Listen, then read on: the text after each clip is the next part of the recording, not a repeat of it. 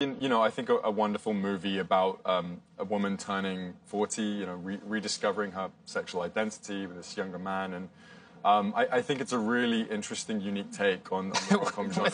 uh, what, are you, what are you thinking there, Jericka? What are you thinking? Well, us just, so, I just turned 40. oh, Jericka's Jericka's so got thoughts. You'll watch. I appreciate that. Based so, on Harry Styles fan fiction? Yes. Uh, look, we, I think we like to distance ourselves from that because I think Hayes is very much his own uh, person. And the, the, the, film that we've made, I think, is, is really unique and, and original and, and um, stands up very well by itself. But hopefully people will watch.